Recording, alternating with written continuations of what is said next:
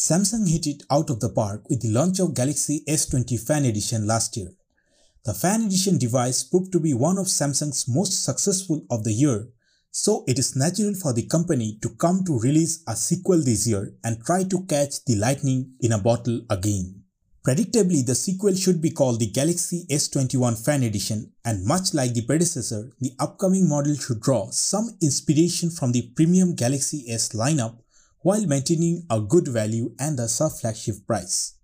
There is almost no doubt that Samsung will be releasing the S21 Fan Edition this year itself, as the company has accidentally mentioned it on the official Samsung Mexico portal this week. And quite thankfully, the Galaxy Club managed to snap a screenshot of the image which shows the Galaxy S21 Fan Edition branding displayed under the image of the Galaxy S21 and S21 Ultra. It reads the following text, the translation of which is Learn more about the Galaxy S21 Fan Edition. Much like its predecessor, the upcoming S21 FE is expected to adopt a new design akin to the Galaxy S21. Leaked press renders depicting the S21 Fan Edition indicate that the phone will follow the same design principles as the Galaxy S21 series, particularly in regards to the camera housing. It shall wrap around the top and side edges of the device and as a result it looks less like an afterthought. Moving to color options, SamMobile exclusively reported a couple of months ago that the Galaxy S21 FE will be released in at least 4 color options including grey or silver, pink, violet and white. A fifth color, light green was also discovered just a few weeks ago along with a few camera details. The S21 Fan Edition is expected to carry a triple camera combo on the back panel, though detailed specifications are yet unknown.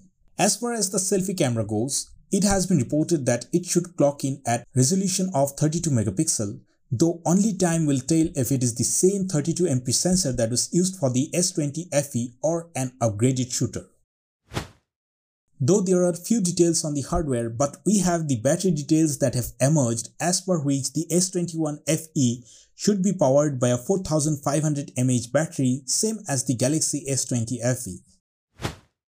An alleged roadmap detailing Samsung's launch plans for 2021 got leaked last month and it suggests that the Galaxy S21 FE will be unveiled at a dedicated Unpacked event scheduled for August 19, 2021.